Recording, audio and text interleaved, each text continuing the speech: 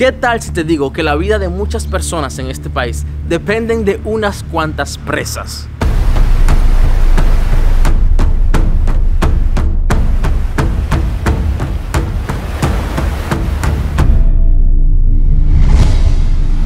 Bienvenidos a otra ruta. Y para hablar de un tema como este, tenemos que venir a un lugar como este. Nos encontramos en Finkenfein. Este es un pueblo que fue hecho por los holandeses y se encuentra solamente a 20 minutos de Ámsterdam. Y sobre eso te vamos a estar hablando en unos minutos. Como decía Julio, aquí gran parte está hecho por los holandeses, o sea que estos lagos no son naturales y principalmente se debe a la masiva extracción de turba. Detrás de mí se encuentra una máquina que se solía usar para la extracción de turba. Y esta máquina viene siendo la única que de vez en cuando aún se enciende y que está completa, porque ya hoy en día no se usa. Déjame explicarte exactamente cómo funcionaba esto. La turba es un material orgánico formado durante los años por la descomposición de materia vegetal se encuentra sobre todo en lugares húmedos como pantanos. Aquí en Finkefen la solían sacar y luego lo entraban en esta máquina, la cual lo molía y exprimía. Finalmente se dejaba secar en un lugar por un tiempo y después se usaba como combustible. La extracción de tanta turba hizo que Finkefen se convirtiera en un lugar único. Pero otra cosa muy interesante es que aquí viven personas, a pesar de todo el agua. ¿Y de qué manera? Quédate hasta el final del video para mostrarte cómo viven. Mientras tanto, déjame recordarte que Holanda es conocida por los quesos, los tulipanes, las bicicletas y la zona roja. Y claro, el agua, que es la invitada especial, y por lo tanto es la estrella en la vida cotidiana. Al menos eso es lo que dicen. Pero la verdadera pregunta aquí es, ¿quiénes son verdaderamente los invitados? ¿El agua como tal o nosotros los que vivimos aquí?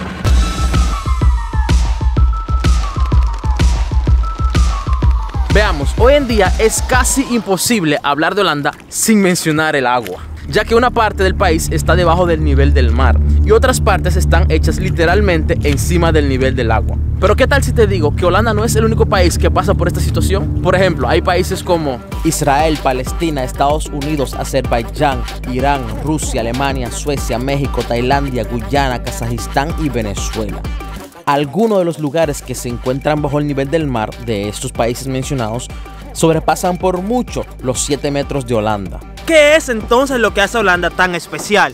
Vamos a descubrirlo, vengan, vengan. ¡No vamos! Los Países Bajos regularmente se ha visto afectado por las inundaciones a lo largo de los siglos, experimentando inundaciones tan fuertes que han muerto miles de personas por no tener una defensa adecuada. La batalla holandesa contra el agua ha sido una lucha para prevenir las desastrosas consecuencias de las inundaciones. Con el tiempo, Holanda ha aprendido a lidiar con estas adversidades a tal nivel que hoy en día tiene una relación única con el agua. Es a la vez su mejor aliado y a la vez su peor enemigo. Casi un tercio de los Países Bajos se encuentra bajo el nivel del mar. Y la parte más honda, o sea, la parte más baja, se encuentra unos 7 metros bajo el nivel del agua. Si los diques se rompieran, y eso es algo perturbador, casi el país completo se hundiría. Ahora, imagínate tú que tú te vas a acostar todo tranquilo y por la mañana tú escuchas que uno de esos tickets se rompió. ¿Qué tú harías? Mira, si yo, no sé qué yo haría.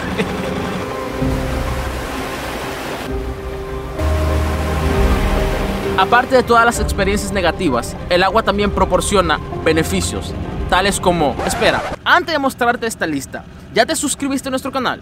Si no lo has hecho, corre, corre, corre, suscríbete y enciende la campanita para que te lleguen las notificaciones. Seguimos. Como decía, ya que los Países Bajos existe en su mayoría de agua, aquí se pueden encontrar muchos deportes acuáticos, como por ejemplo windsurfing, remo, canotaje, polo de canoa, kayak, esquí acuático, motociclismo acuático, natación en aguas abiertas, buceo, polo acuático, baloncesto acuático. Algunos de los holandeses que se destacan en esta área han ganado premios en las Olimpiadas y en competencias mundiales. ¿Quién diría que el agua podría provocar todo esto?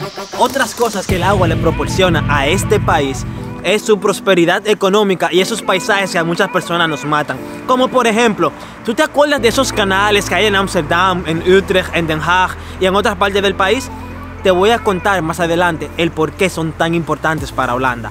Pero sigamos otras cosas que han mantenido Holanda en el mapa mundial, o sea que muchas personas lo han conocido, es por esto. Porque los holandeses se han dado a conocer haciendo estructuras grandiosas, tal como el Plan Delta y el Afsluitdijk. Y de eso Chelvin te contará ahora mismo. ¿Qué tal si te digo que la vida de muchas personas en este país dependen de unas cuantas presas? Exacto. ¿Qué es el Plan Delta? Bueno, déjame sentarme y vamos a explicarte. El Plan Delta es un conjunto de presas y barreras que protegen a los Países Bajos de las mareas altas y tempestades. Juntos forman una barrera contra las tempestades más grande del mundo. El Plan Delta se construyó en respuesta a la catástrofe de las inundaciones del 1953 en Zeeland. El Oosterscheldekering es la estructura más famosa e impresionante del Plan Delta, el cual está considerado una de las siete maravillas del mundo moderno. Si eres nuevo en este canal y te está gustando este video, seguro que también te va a gustar este. Es un pueblo rodeado de agua. Dale click aquí. Seguro que tú tampoco te esperabas que algo que sea de Holanda podría estar en las siete maravillas del mundo moderno. Pues ahora déjame contarte esto, porque yo estoy más que seguro que yo no soy el único que se ha preguntado por qué hay tantos canales en Holanda. Y no hablo de que se vean feos, porque se ven lindos. Gracias a ellos, muchas ciudades como Amsterdam, Utrecht, Den Haag, se han convertido en ciudades muy modernas. Pero tengo para decirte que esto ha sido solamente un método de los holandeses para seguir protegiendo este país contra el agua, contra las inundaciones. ¿A qué me refiero? Pues me refiero que esos canales tan lindos que tú acostumbras a ver en Amsterdam o en otras ciudades, como ya mencioné, se utilizan para drenar el agua, desbordes de ríos, suministro de agua y navegación. Amsterdam o los holandeses han entendido que ya ellos no son enemigos del agua, sino que ahora son amigos. ¿Tú has escuchado por si acaso el dicho que dice a tu amigo manténlo cerca y más cerca a tu enemigo? Por eso ellos han hecho esto. Antes lo que los holandeses hacían eran que ellos simplemente se robaban el terreno del mar. Esto ocasionaba que cuando el mar crecía rompía las barreras. Entonces ellos tuvieron que cambiar el método. ¿Sabes qué hicieron? Construyeron canales. Esto ahora hace que el agua del mar pueda fluir al mismo tiempo de que nos permita a nosotros tener una ciudad más. O sea, mantén a tus amigos cerca, pero más cerca a tus enemigos. Aparte de los canales, los Países Bajos también se han dado a conocer por los polders. Un polder es un término holandés que se aplica a las superficies terrestres ganadas al mar. En pocos países se ha tomado tanto terreno al mar como en Holanda. En total, una quinta parte, 7.150 kilómetros cuadrados, le han sido robados al mar. Y créeme, aún lo siguen haciendo. ¿Sabías que la famosa palmera de Dubai fue construida por la compañía holandesa Van Oort? Como te hemos dicho antes, los holandeses se han destacado en lo que es ganarle tierra al mar.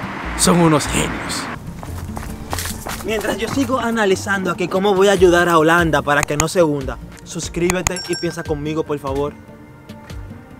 Uno de los lugares en los cuales los holandeses más se han destacado por su destreza de ganarle terreno al mar es Flevoland, la provincia más joven de Holanda. Si quieres saber cómo fue que hicieron esto en un lugar donde solamente había agua, entonces te recomendamos y te invitamos a ver este video acá, que lo hizo nuestro amigo WM, en el cual él cuenta exactamente todo lo que tienes que saber acerca de Flevoland. Ahora, para hablar de este tema hemos venido a Finkefein, pero aún no te hemos mostrado cómo se ve este lugar, así que vamos a mostrarte cómo se ve Finkefein desde arriba.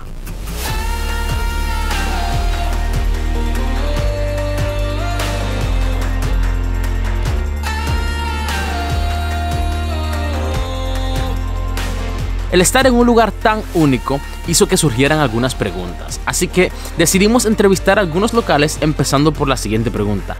¿Qué es lo que hace que Finkefein sea tan especial? Nou, we hebben Vinkveens plassen. Lekker varen ze in de zomer. Als het lekker weer is, 25 graden minimaal, dan is het echt wel uh, dat is echt superleuk. Het enige nadeel wel alleen is op het moment dat je echt ontiegelijk warm is, dat het wel heel druk hier Het is wordt. echt heel druk dan. Als je En in de winter schaatsen. Permíteme hacer esta interrupción para decirte que me ha llamado bastante la atención sobre las casas en este lugar. Aquí en Holanda la mayoría de las casas son muy homogéneas, mientras que aquí he visto todo tipo de casas, colores, formas, o sea, nuevas, viejitas, unos colores extravagantes, otras más normales. Es como si no tuvieran reglas para la fachada de ese lado de Holanda, del mundo, qué sé yo. Lo cual lo hace bien interesante. Otra cosa que me parece bastante interesante es que la mayoría de casas por acá están como en islitas y realmente no sé si en algunas de ellas puedan llegar carros. Parece que la única forma de llegar solamente es con bote. Ja, dat Ja. zijn eilanden die staan in het midden van het water.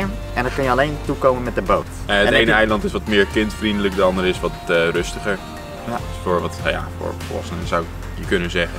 Imagínate que tengas una cita bien temprano y te quedes dormido. ¿Cómo tú vas a llegar tan rápido a tu cita si todavía tienes que coger el bote, tienes que hacer locura para llegar al otro lado, señores?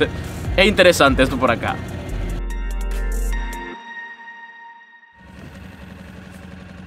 Como ustedes están viendo, lo que me gusta es que Holanda ha entendido de que el agua no es un problema, sino que ellos han aprendido a vivir por encima de este problema. Como por ejemplo, como acaban de ver, esas personas que están ahí muy tranquilos, tienen su propio jardín, su propio pequeño parque de recreación de ellos mismos. O sea, que el hecho de que estamos rodeados de agua no significa que la vida cambia completamente.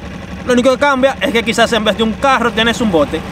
Als je klaar bent met school bijvoorbeeld, hup, snel de plassen in. Lekker met je vrienden. Lekker zwemmen, Ja, op de eilanden met vrienden chillen, lekker Ja. muziek luisteren. en je kunt varen wanneer je wilt, s ochtends, s avonds. En als iemand die nog nooit in Vinkerveen is gekomen. Ja? Si alguien viene a conocer a Vinkerveen, ¿qué le recomendarían? Ik zou zeker een bootje gaan huren bij Jachthaven Borger.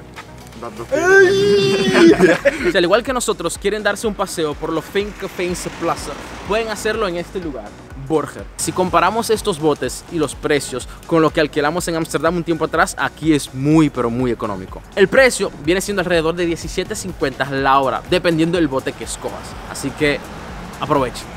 Vinkenveen of Giethoorn? Vinkerveen. Waarom? Nou, Is, we eh, horen verhalen van Giethoorn dat het een beetje... Kijk, eh, Giethoorn is te klein. Wij hebben echt hele mooie grote plassen, dat hebben ze niet in Giethoorn. Y verdaderamente es que Holanda nos ha dado una lección de vida. Asimismo, como ellos aprendieron a hacer de esa situación y de ese problema como lo era el agua, asimismo nosotros podemos aprender que no todas las dificultades de la vida necesariamente son para desmotivarnos, sino de que asimismo como Holanda salió, asimismo nosotros tenemos que aprender a ser creativos cuando vienen esos problemas. Así que nos vemos en nuestra próxima ruta.